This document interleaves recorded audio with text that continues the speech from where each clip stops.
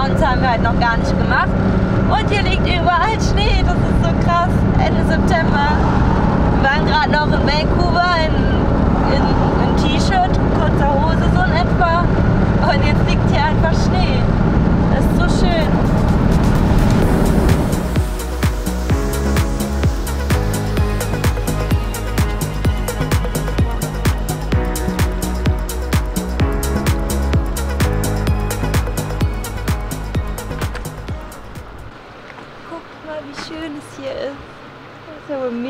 Das Wasser ist so blau. Wir sind kurz vorm Joho-Nationalpark. Genau, das ist der letzte Oberländer, der letzte Stopp. Morgen gucken wir uns mal den Joho-Nationalpark an, aber jetzt stehen wir hier erstmal schön am Fluss. Das sieht so schön aus hier. Wir sind jetzt hier im Joho-Nationalpark am Emerald Lake und wir dachten, wir machen den Lake zuerst. Der ist vielleicht nicht so berühmt und touristisch und wir kommen hier an und es ist einfach alles voll mit Autos. Wir haben uns jetzt schon auf einen ähm, Autoparkplatz gestellt, weil die RV-Parkplätze alle voll sind. Aber wir passen ja zum Glück auf einen normalen Autoparkplatz.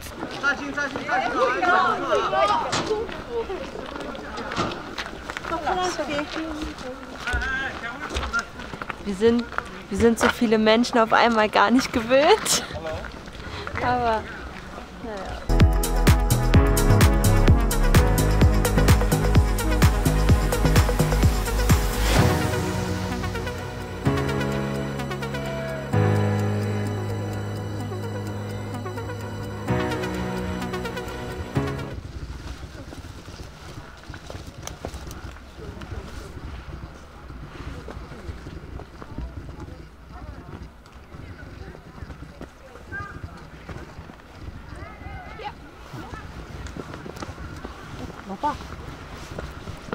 laufen sich hier fast gegenseitig über den Haufen.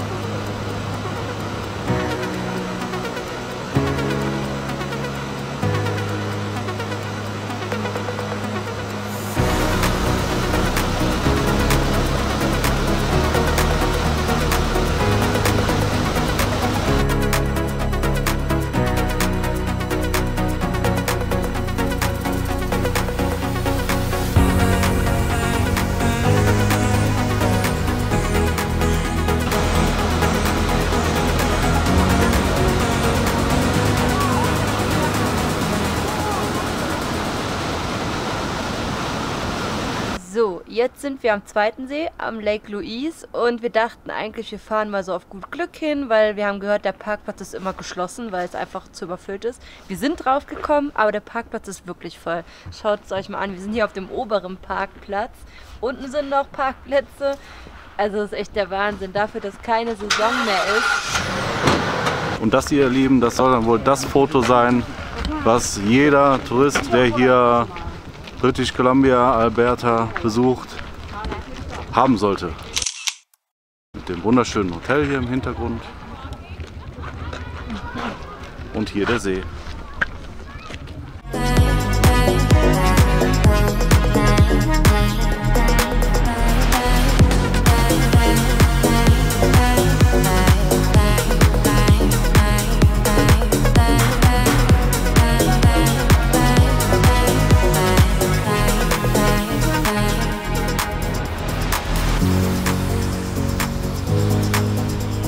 Ich weiß noch nicht so ganz, ob sich das so wirklich lohnt.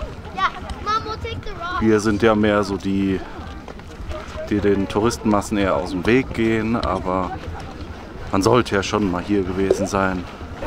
Deswegen haben wir das jetzt auch mal gemacht und ein paar Fotos gemacht, die ihr euch hier angucken könnt oder auf Instagram angucken könnt.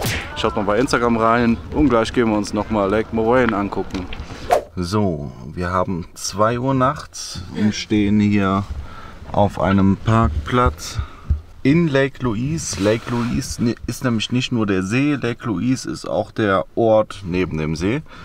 Und wir wollen uns ja noch Lake Moraine angucken. Der soll eigentlich noch schöner sein wie der Lake Louise. Aber dieser blöde Parkplatz von Lake Moraine ist immer voll.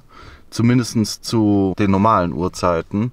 Also wenn man den angucken möchte, müsste man eigentlich so um 5 Uhr aufstehen und dann dahin fahren.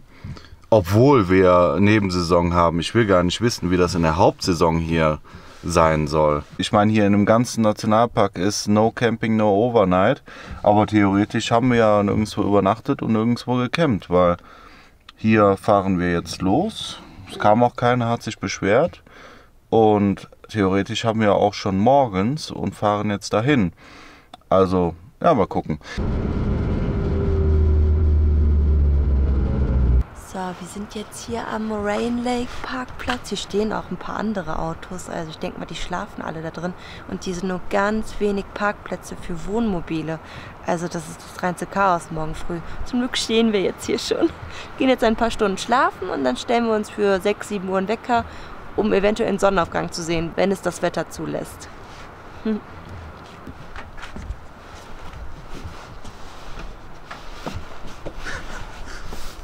Mit Schlappen und ist in den Sacken?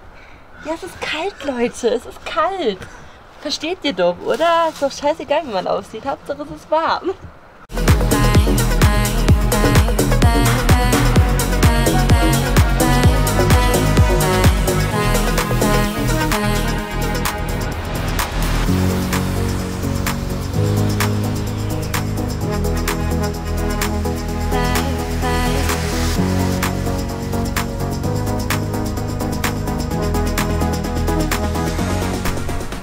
Leute, es ist so kalt, es ist wirklich arschkalt. Und da drüben, wo wir gerade standen, war so ein Wind.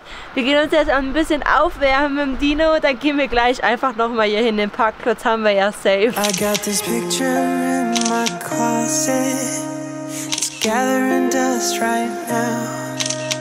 And the edges have been folded once or twice.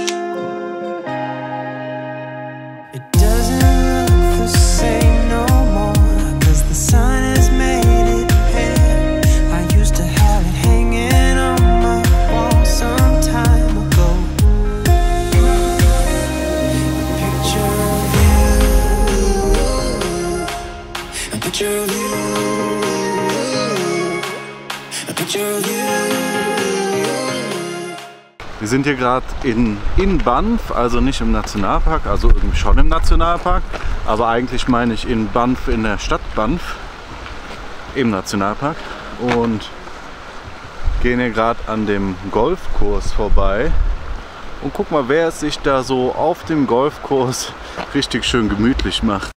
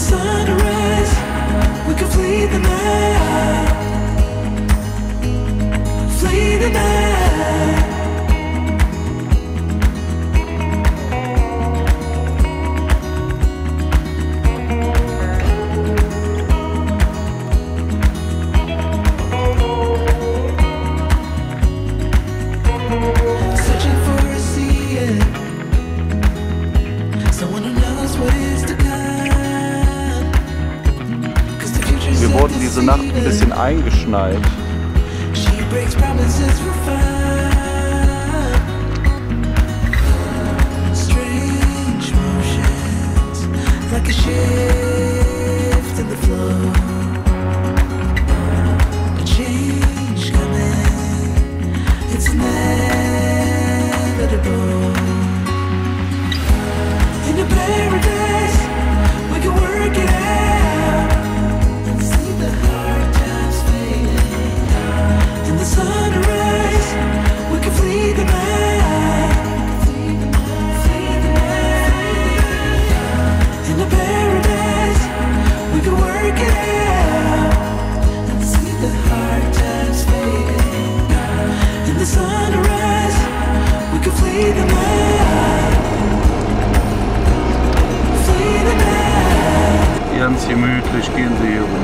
Straße.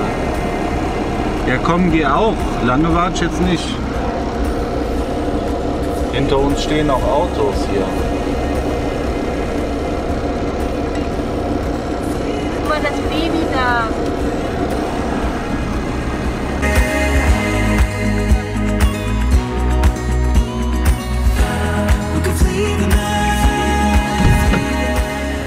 Was gibt's denn schon Schöneres, als wie nach einem langen, kalten Wintertag ein heißes Bad zu nehmen, oder? Meine Uhr. Scheiße. Nicht schlimm. Ich geh mal dahin. Kopf ist kalt, der Rest ist eigentlich heiß. Oh, schön heiß, ne? Ja. Aber geil, Leute, ich liebe es. Und um uns herum ist Schnee. Es schneit. Es schneit einfach mal.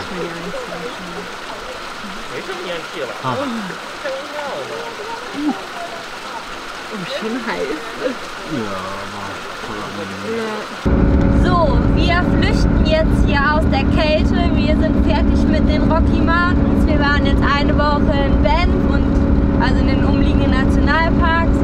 Und es ist so kalt jetzt hier gewesen, dass uns sogar der Wassertank eingefroren ist. Also der, ähm, nicht, der nicht der Frischwassertank, sondern der Abwassertank ist uns eingefroren. Und wir können gerade kein Wasser ablassen, deswegen fahren wir jetzt mal ein bisschen südlicher. Wir fahren jetzt über die Grenze in die USA nach Montana rein.